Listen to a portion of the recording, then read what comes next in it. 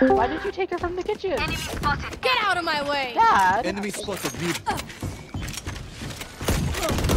One mid. Here. 80 on the raise. Cut.